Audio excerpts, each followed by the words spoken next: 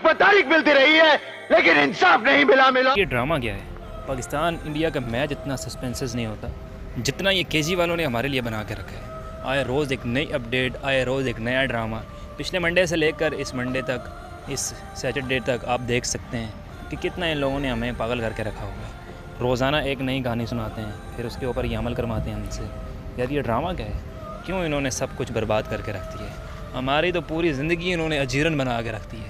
रोज़ाना एक और कहानी सुना कर इतना दिल परेशान कर दिया है। समझ लो डूब गया सब कुछ, बर्बाद हो गया, अब कुछ भी बचने वाला नहीं है।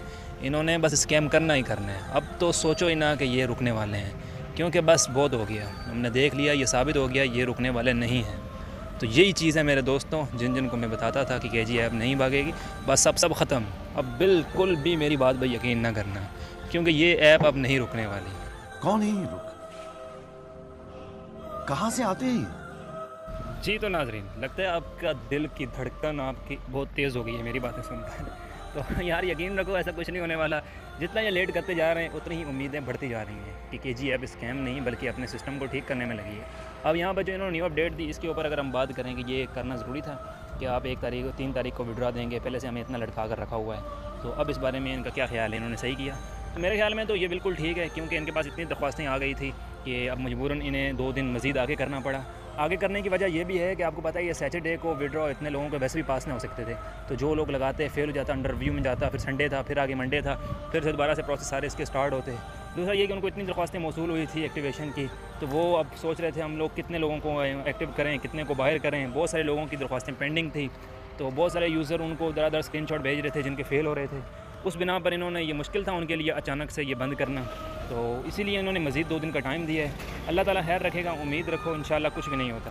शोर शराबे के लिए माजरत, क्योंकि मैं थोड़ा यहाँ पर समझने में ट्रैफ़िक वाली जगह पर खड़ा हूँ, इस पर वीडियो बना रहा हूँ आप लोगों के लिए, ताकि आप लोगों को उम्मीद बाकी रहे। जिन्होंने पैसे लगा दिए हैं, ये सारी वीडियो और उम्मीद उनके लिए बाकी है। जिन्होंने नहीं लगाए तो अब ना लगाना। अब जो है ना, इनका कोई भरोसा भी नहीं है। जो चांसेस बढ़ते जा रहे थे, वो साथ कम भी होते जा रहे हैं। इसलिए जिन्होंने वी आई वन से लेकर फाइव तक के, वैसे भी उन्होंने इसको पैसे लगाने ही थे एक्टिवेशन के लिए। तो ना लगाओ, जहाँ पर 600 आपके एक्टिवेशन के लिए लग रहा था, वहाँ पर आप दोबारा से रिचार्ज करके हज़ार का कोपन यूज़ करके 800 में कर लेना दोबारा से।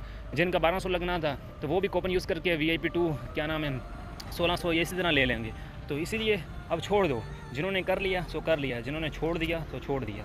इसलिए जिन्होंने पैसे लगा दिए हैं उम्मीद तो कायम रखें आपके और मेरे पास। उम्मीद के सिवा और कोई भी चीज़ नहीं बची थी। पैसे तो लग गए हैं, जो होना था वो तो हो गया। पैसे लग गए हैं, सब चीज़ें हो गई हैं। तो अब सिर्फ़ और सिर्फ़ इंतज़ार करें। बाकी विड्रॉ आज नहीं होगा मंडे से स्टार्ट होगा। और इन्होंने ये जो बताया कि हमने दो दिन का इसको आगे किया है तो ये बिल्कुल सही किया है। क्योंकि एडमिन कल पूरा दिन में उनको मैसेज करता हूँ, मुझे रिप्लाई तक नहीं दे रहे थे। वरना आपको पता पाँच मिनट के अंदर मेरा वो रिप्लाई देते हैं और काम कर देते हैं। क्योंकि उनके पास इतनी दरख्वास्तें, इतनी कंप्लेनें थी, वो किस किस को हैंडल करते तो उनको पता चल गया था कि टाइम बहुत कम है हमारे पास तो हम इस टाइम में इतने लोगों को क्लियर नहीं कर सकते। इसीलिए उन्हें दोबारा से दो दिन आगे करना पड़ा। तो परेशान होने वाली बिल्कुल भी बात नहीं है। उम्मीद रखें इन बेहतर होगा। मिलेंगे आपसे किसी और वीडियो में। तब तक के लिए अपना बहुत ख्याल रखें, चैनल पर नए हैं, सब्सक्राइब कर दें।